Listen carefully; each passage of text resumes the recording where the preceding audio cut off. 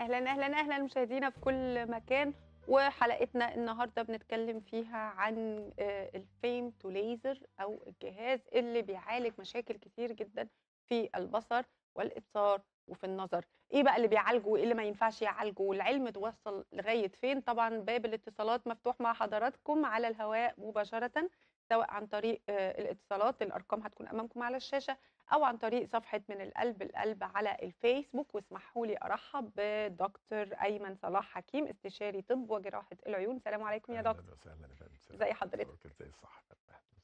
دكتور إحنا النهارده عايزين نعرف بس كده إيه في الأول؟ هل في آه، حالات حضرتك ممكن تقول لها لا انت ما ينفعكيش أو أنت ما ينفعلكش آه، آه، العلاج بالفيمتو ليزر؟ وهل الفيمتو ليزر ده حاجة أحدث حاجة هو ده بقى كده آخر حاجة ولا في حاجات احدث في طبعا حالات بتيجي ما ينفع لهاش ليزك العادي وما ينفع لهاش الفيمتو ليزر وما ينفع لهاش أي نوع حتى سواء ال- الفيمتو ليزر اللي إحنا بنعمله بالجهاز الجديد ده أو سواء الليزك اللي إحنا كنا بنعمله بال, بال في جهاز تاني اسمه Moria أو SBK يعني الحالات اللي ما بينفع لهاش ال- الليزك بنلجأ لحاجات تانية. يعني كل كل مريض له الحاجة اللي تناسبه. بتاعه مش مش دلوقتي أنت ما ينفعلكش يعني روح خلاص أنت ما مم. لا. كل ح... كل واحد له حاجة تناسبه. في حد عند واحد عنده القرنية بتاعته رفيعة شوية. مم. بنلجأ لطريقة مختلفة زي ال PRK اللي هو الليزر السطحي. والليزر السطحي آه، ميزته إن هو ما بياخدش من ما بياخدش من سمك القرنية وبيحافظ على الأنسجة بتاعة القرنية بقدر الإمكان. لكن طبعا مش كل حاجة تنفع لكل الناس يعني. نعم. طيب خلينا ن- نسأل السؤال بقى اللي هو ال- الأطفال كتير جدا بيلبسوا نظارات وبيسألوا هو إحنا إمتى بيسألوا أهاليهم إحنا إمتى نقدر نشيل النضارة بعملية؟ ليه الليزر لازم 18 سنة مش قبل كده؟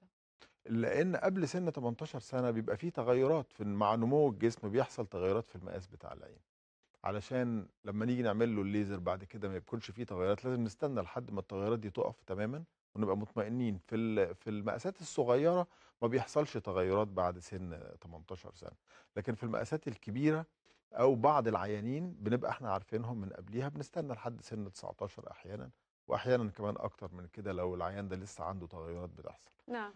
الفيمتو ليزك ده يعتبر أحدث فيمتو آه ليزر دي ده دي أحدث- أحسن حاجة. دي. أحدث ده حاجة دلوقتي. معانا دلوقتي ده أحدث جهاز. ده أحدث جهاز للفيمتو اسمه Z8 مم. آه، من مميزاته إن هو آه، بيشتغل بكمية طاقة قليلة قوي للحفاظ على الأنسجة بتاعة العين. بيشتغل بيشتغل بالنانو جول. النانو جول ده أقل كمية طاقة بحيث نعمل بالظبط اللي إحنا عايزينه من غير ما من غير ما آه، آه، نضغط أو من غير ما نيجي على أو ناخد من الأنسجة بتاعة القرنية بدون داعي. نعم.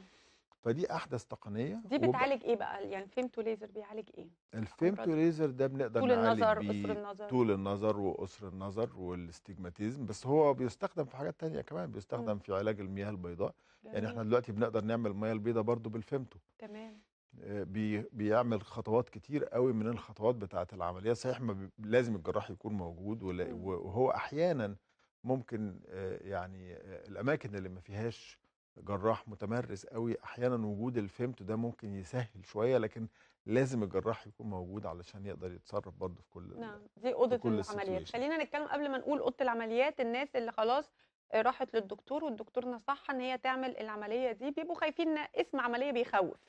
خلينا نعرف مدة العملية بتبقى قد إيه. التجهيزات ما قبل العملية إيه الحاجات اللي لازم الإنسان يراعيها قبل العملية؟ إيه النصايح حضرتك بتقولها للمريض قبل العملية؟ إحنا بالنسبة للستات بنقول لهم يشيلوا الميك اب خالص قبل ما يجوا علشان لما نيجي نشتغل تكون العين نظيفة خالص من جوه. تمام. آه، في قطرة بتتاخد قبل العملية تنظيف للعين قطرة مضاد حيوي بتتاخد قبليها بيومين ثلاثة علشان تنظف إذا كان في بكتيريا إذا كان في أي حاجة في العين تنضف تماما. وبعدين اللي بعد العملية بقى بيبقى مطلوب منهم إن هو ما يجيبش إيده ناحية عينه وما يجيبش ما يجيبش مية على وشه لمدة كام يوم. ما يجيبش مية ما يغسلش وشه. آه آه بعد العملية لازم يقعد كام يوم كده ما يجيبش مية ناحية وشه خالص. okay. وفي قطرات بياخدها بعد العملية يبقى في شوية precautions يعني دايما. بنتفق آه. أنا بصراحة بحب دايما أقول للعيانين بتوعي في في إما آه، آه، للحماية ال protective goggles مخصوصة أو أي نضاره قديمة حتى عندك ممكن آه، لأن ما فيش حد هيقعد جنب المريض بالليل الحقيقة. فهو ممكن لما ينام يدعك في عينه وهو نايم. أول يوم أو أول يومين لو يلبس النضاره عشان تفكروا بس. جه يدعك في عينه وهو نايم النضاره هتفكره إن هو عامل عملية. آه. فمش هيدعك في عينه. فدي ممكن تساعدنا في حاجات كتير يعني. نعم.